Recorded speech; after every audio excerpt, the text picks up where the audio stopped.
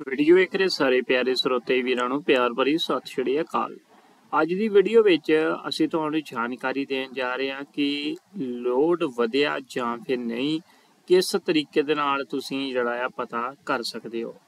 Video ਦੇ ਵਿੱਚ ਪੂਰੀ ਜਾਣਕਾਰੀ ਜਿਹੜੀ ਹੈ ਤੁਹਾਨੂੰ ਅਸੀਂ ਦੇਣ ਜਾ ਰਹੇ ਹਾਂ। ਚੈਨਲ ਤੇ ਪਹਿਲੀ ਵਾਰ ਆਏ ਤਾਂ ਚੈਨਲ ਨੂੰ ਸਬਸਕ੍ਰਾਈਬ ਜ਼ਰੂਰ ਕਰ ਲੈਣਾ ਤੇ bell icon all notification on ਜ਼ਰੂਰ ਕਰ ਲੈਣਾ। ਇਸ ਤੋਂ ਪਹਿਲਾਂ ਜੀ ਮੈਂ ਤੁਹਾਨੂੰ ਪੁਰਾਣੀਆਂ ਜਿਹੜੀਆਂ ਵੀਡੀਓ ਪਾਈਆਂ ਹੋਈਆਂ ਨੇ ਆਪਾਂ ਆਪਣੇ ਚੈਨਲ ਤੇ, ਉਹਦੇ ਵਿੱਚ ਦੱਸਿਆ ਸੀ ਕਿ ਲੋਡ ਐਕਸਟੈਂਡ ਕਿਵੇਂ ਕਰਨਾ ਹੈਗਾ ਕਿਹੜੇ ਕਿਹੜੇ ਪ੍ਰੂਫ ਲੱਗਣੇ ਨੇ, ਕਿੰਨਾ ਖਰਚਾ ਆਉਣਾ ਪਰ ਜਿਹੜੀ ਇਹ ਵੀਡੀਓ ਹੈਗੀ ਆ, ਇਹਦੇ ਵਿੱਚ ਅਸੀਂ ਤੁਹਾਨੂੰ ਦੱਸਾਂਗੇ ਕਿ ਲੋਡ ਵਧਿਆ ਜਾਂ ਫਿਰ ਨਹੀਂ। ਪਤਾ ਕਰਨ ਵਾਸਤੇ ਤੁਹਾਨੂੰ ਕਿਸੇ ਵੀ ਦਫ਼ਤਰ ਵਿੱਚ ਜਾਣ ਦੀ ਲੋੜ ਨਹੀਂ ਹੈਗੀ। ਤੁਸੀਂ ਆਪਣੇ ਘਰ ਬੈਠੇ ਹੀ ਪਤਾ ਕਰ ਸਕਦੇ ਹੋ। ਠੀਕ ਹੈ ਜੀ? ਸੋ ਤੁਹਾਨੂੰ ਦੱਸਣ ਜਾ ਰਹੀ ਹੈ ਕਿ ਜਦੋਂ ਤੁਸੀਂ ਆਪਣੇ ਬਿਜਲੀ ਦਫ਼ਤਰ ਦੇ ਵਿੱਚ ਲੋਡ ਐਕਸਟੈਂਡ ਵਾਲੀ ਫਾਈਲ ਜਿਹੜੀ ਹੈ ਦੋਸਤੋ ਜਮ੍ਹਾਂ ਕਰਵਾ ਆਉਂਦੇ ਹੋ, ਤਾਂ ਉਸ ਤੋਂ ਬਾਅਦ ਤੁਹਾਨੂੰ ਬਿਜਲੀ ਦਫ਼ਤਰ ਦੇ ਵਿੱਚੋਂ ਇੱਕ ਰਸੀਦ ਜਿਹੜੀ ਹੈ ਦੇ ਦਿੱਤੀ ਜਾਂਦੀ ਹੈ। ਉਸ ਰਸੀਦ ਦੇ ਉੱਤੇ ਲਿਖਿਆ ਹੁੰਦਾ ਕਿ ਇੰਨੇ ਕਿਲੋਵਾਟ ਵਧਾਇਆ ਹੈਗਾ ਇਹਨਾਂ ਨੇ ਲੋਡ। ਤੇ ਉਹਦੇ ਵਿੱਚ ਤੁਹਾਡੇ ਪੈਸੇ ਜਿਹੜੇ ਆ, ਉਹ ਲਿਖੇ ਹੁੰਦੇ ਨੇ ਐਡਰੈਸ ਲਿਖਿਆ ਹੁੰਦਾ, ਤੇ ਵਿਅਕਤੀ ਦਾ ਨਾਮ ਲਿਖਿਆ ਹੁੰਦਾ, ਔਰ ਕਿਸ ਤਰੀਕ ਨੂੰ ਤੁਸੀਂ ਅਪਲਾਈ ਕੀਤਾ ਲੋਡ ਉਹ ਡੇਟ ਵੀ ਲਿਖੀ ਹੁੰਦੀ ਆ। ਠੀਕ ਹੈ ਜੀ? ਸੋ ਮੀਟਰ ਦਾ ਨੰਬਰ ਜਿਹੜਾ ਆ, ਜਿਸ ਮੀਟਰ ਦਾ ਤੁਸੀਂ ਲੋਡ ਵਧਾਇਆ, ਉਸ ਮੀਟਰ ਦਾ ਨੰਬਰ ਵੀ ਉੱਤੇ ਲਿਖਿਆ ਹੁੰਦਾ।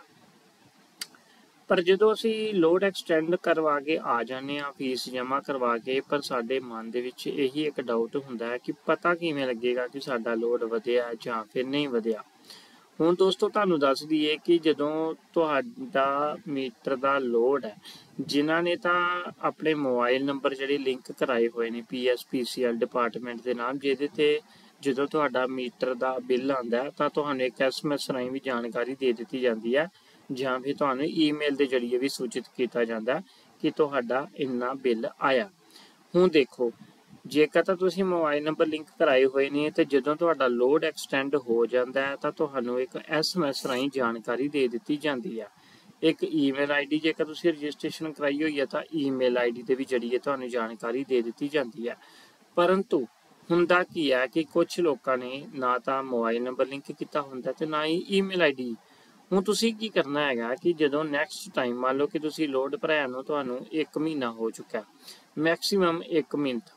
1 ਮੰਥ ਹੋ ਚੁੱਕਾ ਤਾਂ ਜਦੋਂ ਤੁਹਾਡਾ ਬਿਜਲੀ ਮੀਟਰ ਦਾ ਰੀਡਿੰਗ ਕਰਨ ਵਾਲਾ ਵਿਅਕਤੀ ਆਂਦਾ ਮੀਟਰ ਦੀ ਰੀਡਿੰਗ ਕਰਨ, ਜਦੋਂ ਉਹਨੇ ਤੁਹਾਨੂੰ ਨੈਟ ਬਿੱਲ ਦੇਣਾ ਨਾ, ਤੁਸੀਂ ਉਸ ਬਿੱਲ ਦੇ ਉੱਤੇ ਆਪਣਾ ਪੁਰਾਣਾ ਬਿੱਲ ਵੇਖਣਾ ਤੇ ਨਵਾਂ ਬਿੱਲ ਵੇਖਣਾ ਉਹਦੇ ਉੱਤੇ ਜੋ ਮੰਨ ਲਓ ਕਿ ਤੁਹਾਡਾ ਪਹਿਲਾ ਲੋਡ ਹੈਗਾ ਸੀ 2.5 ਕਿਲੋਵਾਟ ਹੁਣ ਤੁਸੀਂ ਮੰਨ ਲਓ ਕਿ ਜੇਕਰ 1 ਕਿਲੋਵਾਟ ਵਧਾਇਆ ਤਾਂ ਤੁਹਾਡਾ ਲੋਡ ਹੋ ਗਿਆ 3.5 ਕਿਲੋਵਾਟ ਜਿਹੜਾ ਨਵਾਂ ਬਿੱਲ ਆਏਗਾ, ਉਹਦੇ ਤੇ ਤੁਸੀਂ ਰੀਡ ਕਰਨਾ ਹੈ ਕਿ ਸਾਡਾ ਜਿਹੜਾ ਬਿੱਲ ਹੈ, ਮੀਟਰ ਜਿਹੜਾ ਲੋਡ ਹੈ ਕਿਲੋਵਾਟ 3.5 ਹੋਇਆ ਜਾਂ ਫਿਰ ਨਹੀਂ ਹੋਇਆ।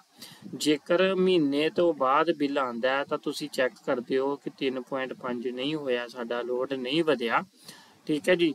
ਸੋ ਤੁਹਾਨੂੰ ਕਿਹੜੇ ਉਹ ਕੰਮ ਕਰਨੇ ਹੋਣਗੇ ਜਿਹਦੇ ਕਰਕੇ ਕਿ ਤੁਹਾਨੂੰ ਦੁਬਾਰਾ ਜਿਹੜਾ ਆ ਬਿਜਲੀ ਦਫ਼ਤਰ ਵਿੱਚ ਜਾਣਾ ਪੈਂਦਾ ਸੋ ਉਹ ਵੀ ਵੀਡੀਓ ਅਸੀਂ ਆਪਣੇ ਚੈਨਲ ਤੇ ਅਪਲੋਡ ਕਰ ਦਵਾਂਗੇ। ਜੇਕਰ ਤੁਹਾਡਾ ਬਿੱਲ ਦੇ ਉੱਤੇ ਲੋਡ ਆ ਜਾਂਦਾ 3.5 ਤਾਂ ਸਮਝ ਲੈਣਾ ਕਿ ਤੁਹਾਡਾ ਲੋਡ ਵੱਧ ਗਿਆ। ਜੇਕਰ ਨਹੀਂ ਆਉਂਦਾ, ਤਾਂ ਫਿਰ ਤੁਹਾਨੂੰ ਬਿਜਲੀ ਬੋਰਡ ਦਫ਼ਤਰ ਜਾ ਕੇ ਫਿਰ ਜਿਹੜਾ ਲੋਡ ਹੈਗਾ, ਉਹਦੇ ਬਾਰੇ ਤੁਹਾਨੂੰ ਕਿਹੜੀ ਗੱਲਾਂ ਉਹਦੇ ਨਾਲ ਕਰਨੀਆਂ ਚਾਹੀਦੀਆਂ ਨੇ, ਕਿ ਉਹ ਵੀ ਤੁਹਾਨੂੰ ਅਸੀਂ ਆਪਣੀਆਂ ਆਉਣ ਵਾਲੀਆਂ ਵੀਡੀਓ ਵਿੱਚ ਦੱਸਾਂਗੇ। ਸੋ ਅੱਜ ਦੀ ਵੀਡੀਓ ਵਿੱਚ ਇੰਨਾ ਹੀ।